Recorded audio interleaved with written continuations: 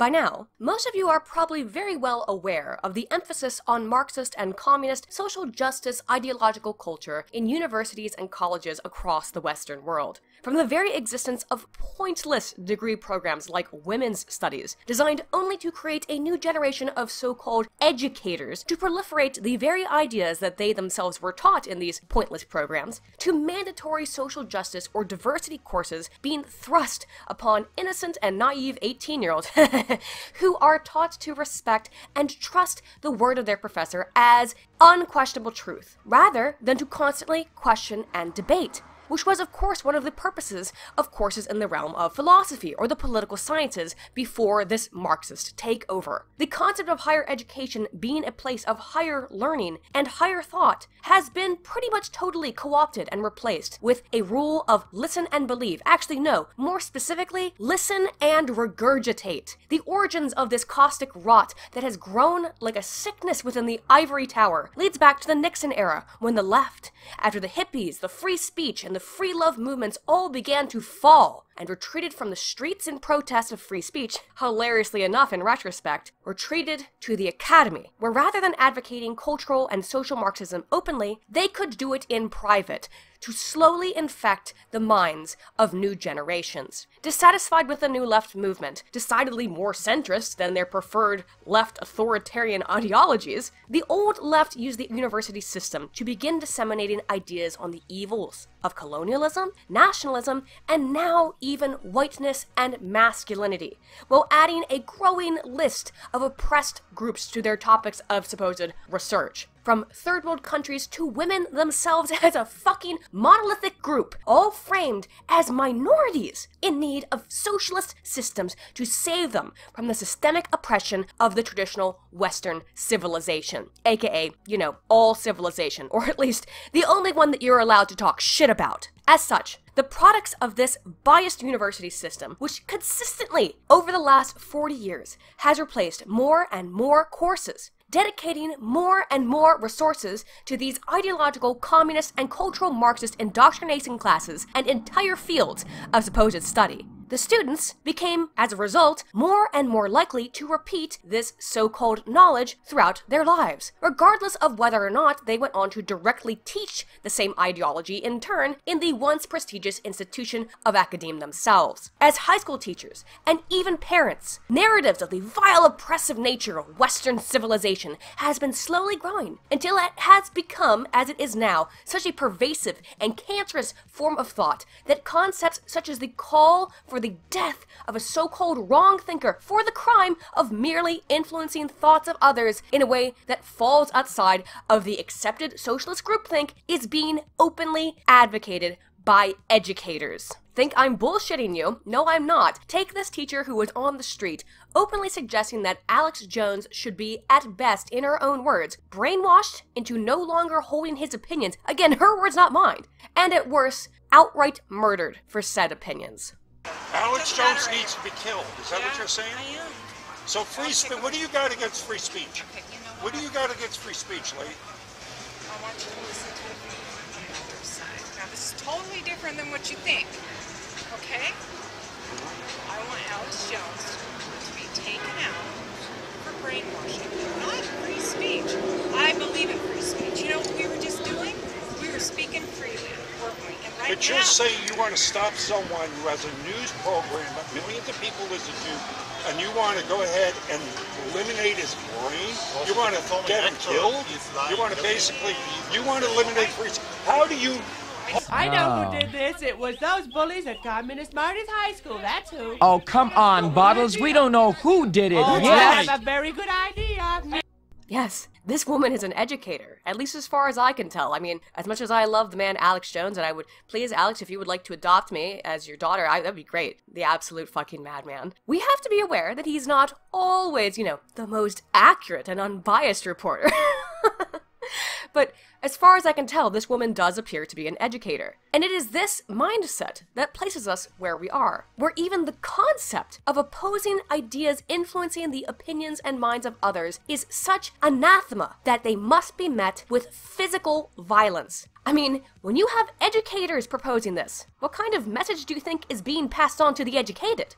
It's not difficult to see how these messages that were initiated in the academy have been distilled down into subsequent generations, resulting in a woman like this, yes? And if you don't already have enough proof of how absolutely fucked academia is, and I'm speaking at least partially from experience as someone in the field, I want to illustrate in this video how absolutely screwed the ivory tower is in current year. Where at Hunter University, for example, you can now in fact take a course on abolishing whiteness. Well, the title of the course may at first take some of you a little bit aback, but in the face of over 40 years of an inundation, no, of a constant production of more and more Marxist ideologically indoctrinated students, it really should come as no shock and no surprise to anyone that this shit is real. When these people have been taught these messages as nothing short of irrefutable fact, how is it any surprise that they pass the same messages on to the next generation to the point where insanity becomes normalcy? Even a cursory look at the very principle of a course like this should reveal how fucking unapologetically racist it is. I mean, can you imagine seeing a course at colleges called Abolishing Blackness? fucking course not! Because as I've said, these commie cucks stuck in their ivory tower are trying to find new ways to identify oppression of every group on the planet outside of straight white males. So, of course, it's fine. After generations of compounding Marxist nonsense, anti science in upon itself, yeah, you get an elective for which political science students at Hunter must take several on abolishing whiteness. Yeah, that's now a dang thing. Although, of course, as it's an elective and as such, no one is forced to take this mess. This is just an example of the extent of indoctrination happening across universities in our country and across the world. You may notice that this course has no real description. That might be in part because it appears that Hunter does not include it on their publicly listed courses. Well, gee, wonder why you wouldn't do that. But let me be fair, that's actually pretty common for electives. Usually, if a professor has a topic he or she really wants to teach, they can request to take up one of these elective spots for a special seminar. And as such, often the information is sparse at first. But hey, as I've always said, judging a book by its cover may not yield the most accurate results and understanding of what is beneath the surface, right? Maybe this is just a critical look at the very cultural Marxist anti white, anti male propaganda I've been railing against, huh? Oh, yeah, right. Yeah, not in the nightmare reality we live in, friends. Uh, so while the course has no description online, I did find this flyer posted by a Hunter student. So let's take a look at what is being taught as a political science course. Alright, so what do we got? This course offers an overview of whiteness studies in the United States. Uh, okay, so like what, like an introduction to US history? I mean, that's what I would think of when I thought about US whiteness studies if I had to concede that such a thing is, you know, a thing. A subfield within critical race, uh, theory. Fuck off. Okay. Do you see that word critical theory? What that means in the social sciences is that everything presented as fact in this course is not going to be based on quantitative statistical data, but rather on moral relativism and something called lived experiences. These people are the mental invalids and award winning mental gymnasts who call themselves scholars, and they just make my fucking blood boil. Critical scholars believe, generally speaking, that all reality is based on perception, which is why they can get into the whole a rich black man is still more privileged than a homeless white man shtick, because all of these perceptions and lived experience are things that they do not want to quantify, and would have no idea how to quantify, because they are laissez faire pseudo philosophers who lack proper education or any education in any real scholarship to do anything beyond publish bullshit, meaningless article upon meaningless article, all of which are based on what is, by their own admission, feelings that cannot be quantified and, more importantly, should not ever be quantified. And maybe that makes me sound a little autistic that I want to assign numbers to everything, but uh, as a scientist, I have to. I need numbers, I need data, I need facts. I don't give a shit about your feelings. It was not very obvious. There is a massive schism between my type of quantitative social science and what these self proclaimed critical cultural scholars believe is science. Many of them genuinely think those of us trying to use observation and statistical analysis are setting science back by being overly concerned with numbers rather than feelings. I remember my first time going to a conference. I was taking the train to my hotel, and I saw two girls behind me with ID badges from the convention. So I decided to strike up a conversation on the ride, something I would normally never do because autism and all, but hey, shared social identity. When they learned that I was a quantitative empiricist, they literally, I mean, physically stuck up their noses at me. Yes, friends, these people who operate solely in the art of bullshittery, based nothing beyond their own baseless opinions, honestly think I'm the poor scientist. We're the poor scientists for looking at numbers and facts. And that, that right there, is how just beyond fucked the modern university education system is. The ones crunching the numbers were the plebeians, and the ones teaching gay, trans, black, Muslim slam poetry are the ones really getting at the crux of uncovering reality. Forget math and science, friends. This is what's really worth thousands of dollars and years of your time. Fuck you bitches on the train, seriously, fuck off. But,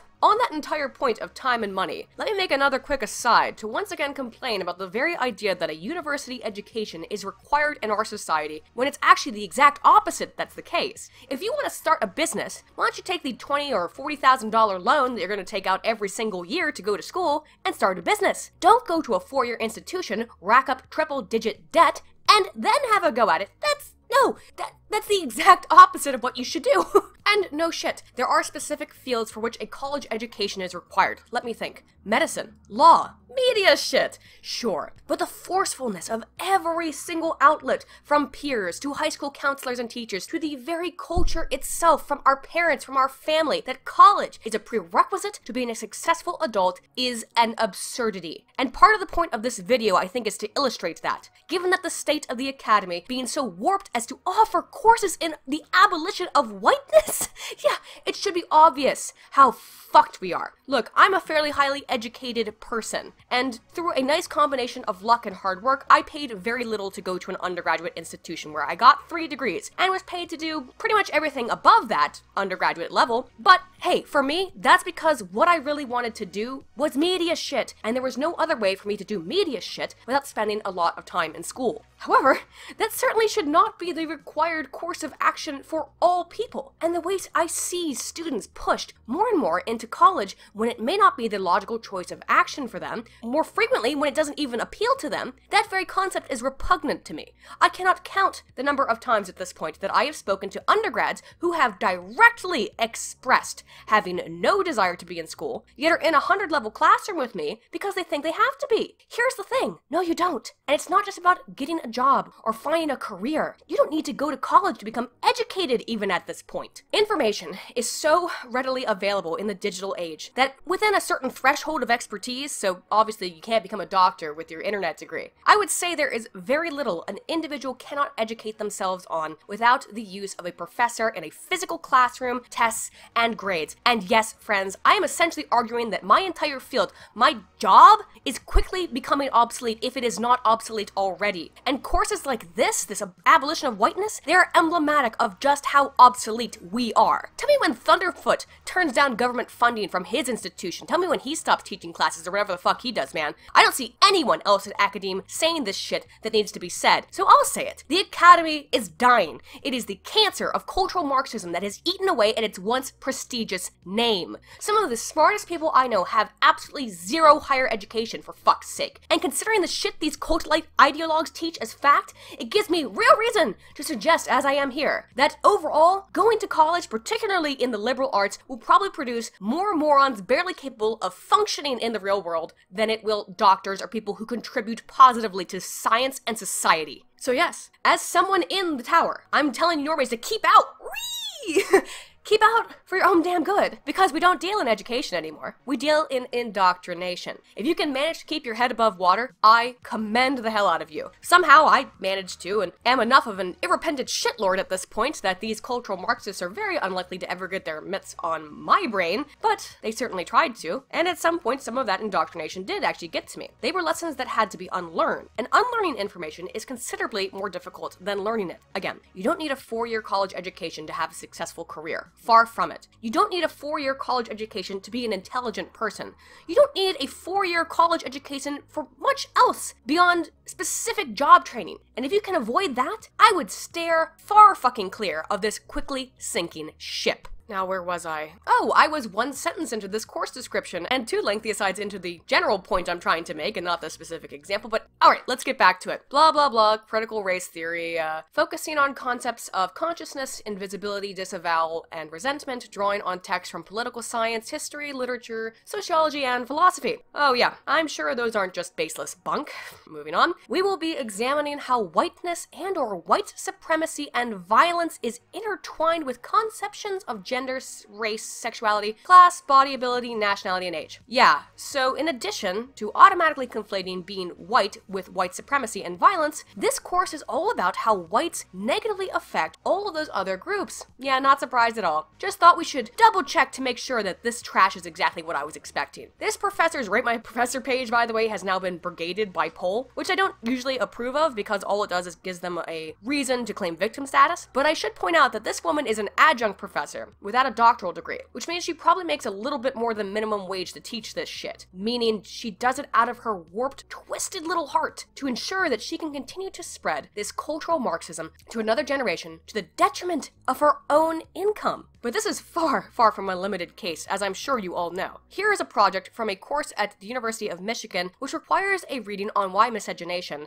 that is, race mixing, is not only a good thing, but a necessary thing. And for white people, particularly white males, to refrain from romantic relationships with, here's, here's how it's phrased, black identifying women is, in this person's own words, not a fucking right fuck right off. This is even more egregious than Riley Dennis. Holy hell. Not only is it bigoted to not engage in a romantic relationship with a person of another race if you're white, you lack the very basic human ability, the basic human right to deny said person. This is unfucking believable. And knowing that we have professors like Ciccariello calling for a white genocide and supporting the genocide of whites in Haiti, is there really any wonder that this anti-white sentiment is so prominent? Here's the thing, friends. I'm pretty sure I, am actually not telling you anything you don't already know. I'm just giving you some spicy new examples to add to your rage fuel. Have a good day!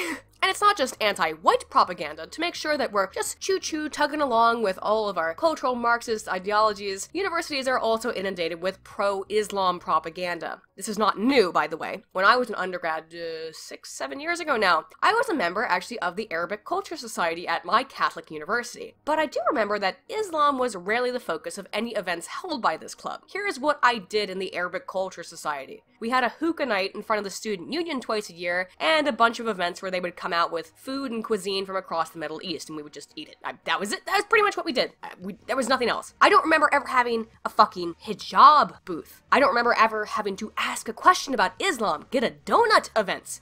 I don't remember that shit. Now, maybe some of that is the tendency of Muslims as we see, where they are in the vast minority to be more likely to assimilate to the host culture. Maybe it was just my undergrad institution, maybe it was that, but I had never witnessed this kind of pure, unbridled indoctrination when I was in school. I mean, it was starting up, I'm sure, but it wasn't like this. This is beyond egregious, is it not? I have no problem with people learning about Islam. Oh, trust me, I sure as hell, particularly if it's an earnest interest. No, no, I encourage that shit. But hey, this is all really unsurprising that they engage in this obvious bias and goal-driven ideological brainwashing, isn't it? Yeah? It's no no real revelations going on. So let's get into some of the juicier meat then, shall we? Take a look at this, friends. This professor thought it would be like super duper cool, a really cool idea, to have his 18-year-old freshman come on to Pol 4chan's politically incorrect board for the purpose of disturbing and disrupting our evil white nationalist discussions. Friends, do you realize how utterly absurd that is? Not only are political pseudoscience adjuncts like this guy now convinced that Pol is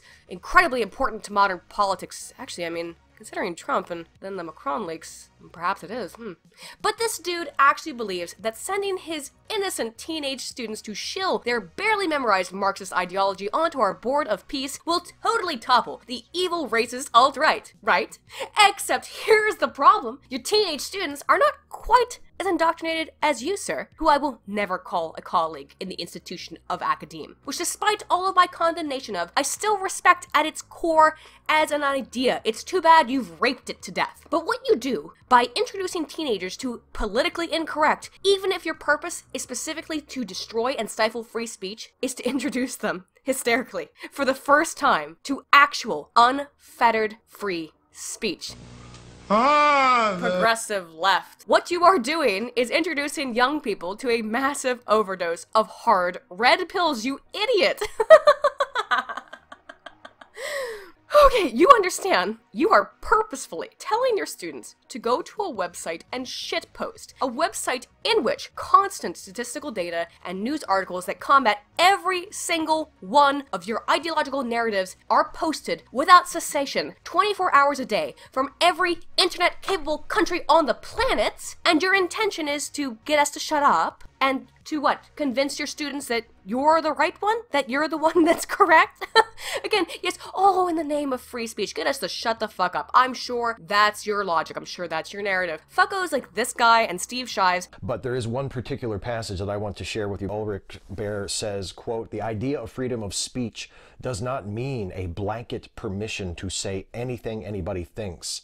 It means balancing the inherent value of a given view with the obligation to ensure that other members of a given community can participate in discourse as fully recognized members of that community. Free speech protections, not only but especially in universities, which aim to educate students in how to belong to various communities, should not mean that someone's humanity or their right to participate in political speech as political agents can be freely attacked demeaned, or questioned. Truly do believe. I, I would like to think that they're being disingenuous, but no, I think they actually believe it. They truly believe that the way free speech works is by ensuring that free speech only works for them, and by assuring that all who disagree are shut down. Yeah, that's how it works. Odin, please bless me with your wisdom. This is breaking my brain. Alright.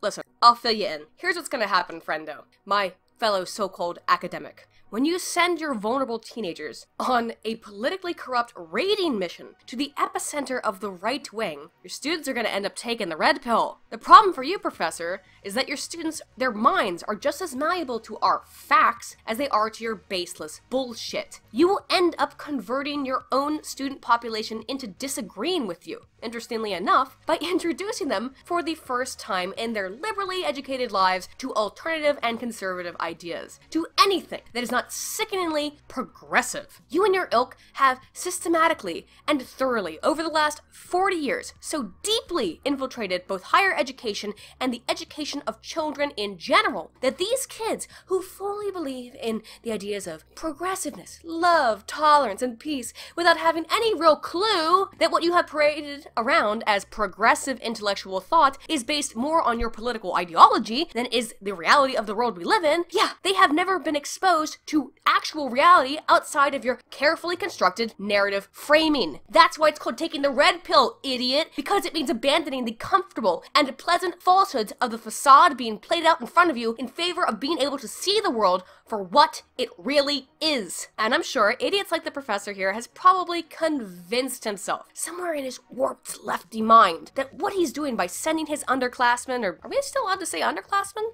Or is it uh, underclass people? Wait, but that would erase the struggles of lower class people in our patriarchal society. Oh, fuck this. I can't get caught in your bullshit. My point is this. He probably thinks what he's doing by having his students do this as a lesson or whatever he's trying to do. It's his own version of a red pill by sending these innocents into the lion's den to see just how awful and prolific neo-Nazism is in the world. But that's a fundamentally flawed premise for a number of reasons. So let me just explain why sending lefties and particularly politically illiterate undergraduates to Pol politically incorrect for the purpose of subverting or protesting or whatever it is the fuck you think you're doing here to, you know, destroy the evil alt-right is incalculably retarded. Okay, first of all, every single one of these ding dongs I've ever seen try to understand 4chan over the last decade and a half, both on the left and the right, thinks of 4chan as a sort of social media forum like Facebook or Twitter with some sort of cohesion and hierarchy, when the reality is that no one likes to subvert conversations on 4chan more than 4chan posters. 4chan, by nature of its inherently de-individuated format that forces anonymity and subsequently an abandonment of social norms, the seminal research on that is Zimbardo 1969, results in both toxic and benign disinhibition in human behavior and communication. Toxic disinhibition can entail things like trolling and harassment, but benign disinhibition can entail things like the strangers on a train effect, that as a result of our lack of identifiable features, we feel more comfortable sharing the depths of our personal beliefs, cutting deep into the core of the onion that we call being an ogre, I mean being a human. This is a pretty basic theory of social science. We always use the onion example. Sh- Shrek has been a boon to social science. This theory, though, it's called social penetration theory, in that our political beliefs, for example, our moral values, these types of really deep things, they lie at core of our personality, the core that we keep hidden in polite society that generally delves a little deeper into the human psyche than, did you catch the game last night? That means that in an anonymous or pseudonymous environment, without the fear of social exclusion, we can cut right into the core of our personal beliefs and reveal them openly without hesitation. Typically, it takes a very long time of getting to know someone, to know you can truly trust them before you start to slice deep into the core of your personality, to pour out your true feelings, hopes, fears, values, and morals. Not in computer mediated communication. No, not in CMC. That's computer mediated communication. Walther 1997, his hyperpersonal model suggests that certainly, and in an anonymous environment, you're kind of compounding it. Essentially, an anonymous computer mediated digital environment is the perfect storm of social psychological effects that mean the truest nature of humanity is not just cut into, but put on a direct and open hap. That means the worst in people and the best in people are both unleashed when the curtain of the social social contract falls away. As such, what you get is chaos. De-individuation, anonymity, means inherently the sequestering of social norms to the will of the anonymous collective. Why do you think Pol worships Kek, the ancient Egyptian god who is an embodiment of chaos, the deepest umbra of the darkest time before the dawn? You idiot! You cannot subvert those who constantly disrupt themselves. The phrase pissing in an ocean of piss has always applied to 4chan, and throwing your undergrads into the sea to yell at us mean, evil white nationalists to totally stop us from being racist is just another drop in the bucket, you dingus! When Tumblr used to try to occasionally raid 4chan, the most that happened is they got drowned, and then they got triggered, according to their own accounts, literally to death by their own attempt at disrupting the chaos. You cannot subvert chaos, idiot, and your utter ignorance at the basic social science principles I have brought up, very basic ones, coming from someone who I'm sure considers himself a social scientist, is nothing short of extremely embarrassing for you. Secondly, as I mentioned earlier, all this will do is ultimately end up educating a couple of your young students who have never been faced with alternative viewpoints beyond the politically correct and accepted narratives fed to them since childhood, the very views that you sent them into the storm to regurgitate into the wind.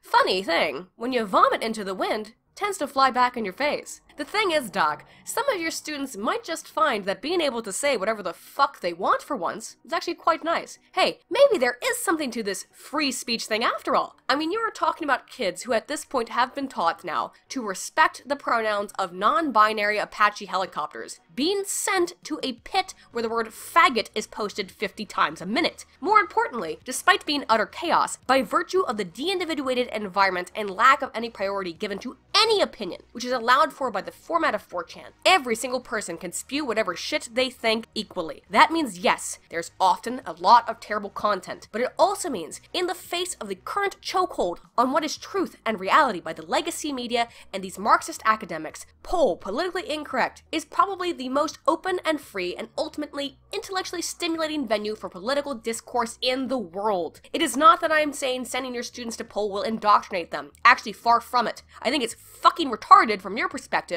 because you're letting them loose in the wilds where anyone can express any idea, back it up with evidence and arguments that are not approved by your political ideology that you have worked very hard, you and your colleagues, to make sure they would never be exposed to. I see a lot of people who don't quite understand 4chan and claiming that Pol is an echo chamber, when that could not be further from the truth. Because of the social science principles I have explicated, and because of the posting format where no post is given priority over another, as you have in other media outlets such as Reddit or Twitter, every single post, every idea, every conversation is swimming in this maelstrom at the same time, and it is up to a discerning reader and poster to process that information for themselves on the other side of the screen. You are letting the people think for themselves. And you're not supposed to do that in your ideology. You have to control their thought. There is truly no other place in the world that is less of an echo chamber, particularly not online, than Pol. And if I'm being totally honest, that's completely true. Sure, you're gonna get called a faggot if you come in spewing Marxist rhetoric, but you're allowed to spew it. You're allowed to spew it all day, and no one can stop you. For all the shit posting and memes, astonishingly, Pol is truly the last bastion of true, unfettered, free speech.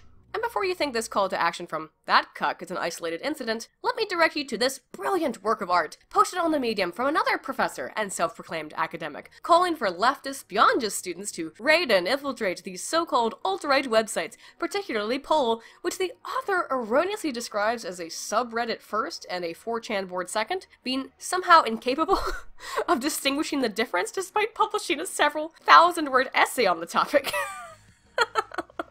Look, this video is going to be long as fuck. I could make, friends, an entire video on this article alone, and originally I was considering probably just doing that, but the subject matter was just so succinct with the topic that I felt it would be more logical to combine them. This is why I don't do a ton of videos. I get too long and whatever. So here we have Professor Seth Abramson, oy vey, calling for liberals and leftists to invade alt-right spaces for the purpose of disrupting our conversations and ultimately destroying the evil right-wing meme squads, where we plan our super secret Nazi takeover of the nation. He even suggests that if lefties are capable of controlling themselves enough to not get constantly triggered by bad, naughty words, they could get addicted to totally like decimating us with their logic and facts. I mean, it's so easy, right?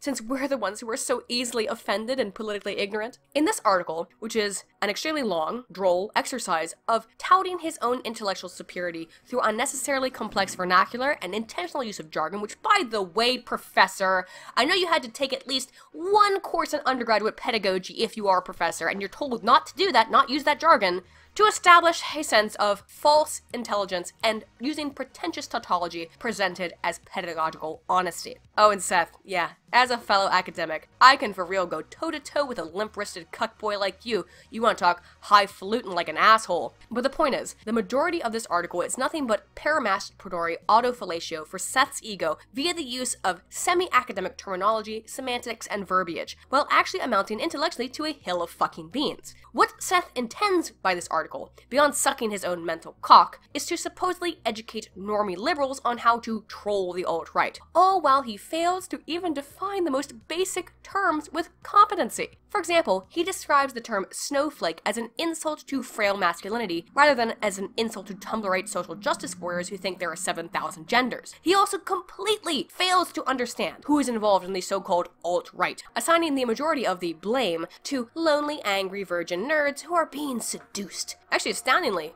by what he considers to be a minority, not a majority, of real white nationalists, while simultaneously suggesting that there is no difference between sexist or racist jokes and actual racism or sexism hysterically only when it's those on the wrong side of history who engage in that type of communication. Let me be clear. Yes, friends, here's what he's saying. He is actively advocating and encouraging in this article for leftists to infiltrate 4chan and use what he describes as our hateful, sexist, racist, bigoted vernacular in order to fit in, yet his side is cleansed inherently of all guilt in this behavior, for they are the enlightened ones. Do you understand the absurdity there? He even admits he thinks not all posters are intrinsically racist, but they are all intrinsically guilty for using evil racist slurs, and they will be radicalized, in his opinion, if they continue to use this media outlet. Yet, simultaneously, he is encouraging his leftist audience to use the exact same slurs as a method of supposed infiltration. Yeah, like 4chan's fucking Majestic 12, without any concerns on his part that the use of that language and verbiage has any meaning of racism or sexism as long as it's coming from the left. So you can say faggot all you want, and you're just, you know, you're absolved of all your sins. Cool. Jesus fucking Christ, what a complete and utter moron you are, Seth. This article is thousands of words of complete and utter misinformation and misunderstanding on par of your grandmother trying to understand the rap music. I hate that I keep having to not disagree with Paul Joseph Watson that conservatism is the new counterculture. Fuck me. Anyway, Seth occasionally makes a few accidentally very hilarious claims in this piece, by the way, by nature of his complete and utter lack of knowledge on the subject that he is actually role playing at being an expert on, such as that the alt right, basically in his own words, are the most diverse group of neo Nazis on the planet. we make that joke too, friend. But generally speaking, this manual, as he described it himself, is designed to help lefties put us terrible right wingers in our place. And how should they do that? Beyond just coming into our right-wing hate websites such as reddit.com slash pol. I don't even understand how Reddit works. Sorry, guys. And uh, using racial slurs to show that they're one of us, one of us, one of us. Seth, tell me, please, what is your prescriptive for the liberal masses you are encouraging through your enlightened academic scholarship to disrupt the evil alt-right hacker known as 4chan? Oh, it's this. Uh, don't allow yourself to get triggered.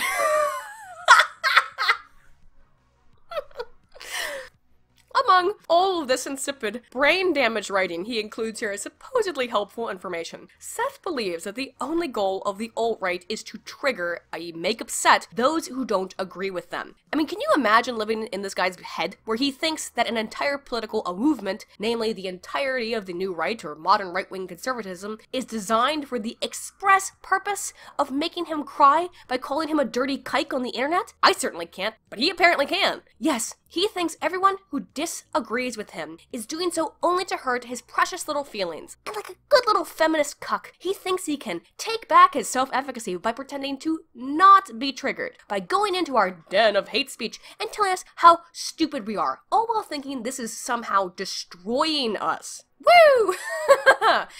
Here's an astounding thing, guys. With pretty little questioning on my part, having gotten very accustomed to being able to read one's writing style, particularly in a de-individuated environment, because most boards on 4chan have and always have never had any type of poster identification, I can say with some certainty that Seth himself posted this article multiple times on pol the day it was written for the purpose of gaining publicity, and then continually responded to the threads he made with the identical pretentious writing style that was, as I said, overtly identifiable to the discerning browser for the purpose of defending his shitty article, as if he was like sharing a gotcha moment to leave us shaking in our Third Reich jackboots.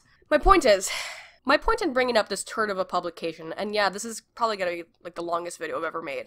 my point in bringing this up at all is because this is the exact same mentality as that professor calling for his students to raid 4chan. Equally absurd in its premise, its goal, and its methodology. These two so-called academics, so heavily steeped and indoctrinated in cultural Marxist theory that they not only believe they're the ones on the right side of history without, you know, bothering to conduct even a cursory investigation on the subjects they believe themselves to be experts on, but academics who truly, I think, believe in the same paltry information that they continue to indoctrinate and educate the masses in, just as they themselves were indoctrinated in, when in reality, they must face the fact that their worldview is slowly dying. The academy is dying, colleagues. They are no longer the unbridled masters of all thought. They are actually being challenged. Their views are being questioned as people educate themselves without the need for your intellectual audio fellatio. As such, is it any wonder that these Marxist professors are losing their damn minds over the very concept that the ideas that they were spoon fed and never raised an eyebrow at, and they fully intend to continue to spoon feed to as many people as possible, are actually being questioned? It really isn't. It's not surprising at all. They recognize the loss of control, and it is so beyond their capacity to actively cope with, being that they've never had to cope with any actual opposition from the comfort of their leather armchairs in the ivory tower, that they resort to lashing out like a damn chimp in one of the most unproductive ways possible, which is to send their young initiates into the lion's den where red pills are handed out like candy. So actually, professors, thank you very much. Thanks a lot, it helps. Keep sending your students here, shooting yourself in the foot. Maybe if you keep it up, the next generation can start to undo the mess that your ilk have created in the academy for the last half a century. We won't have any more fucking courses on abolishing an entire race. And move the orientation of the academy back to science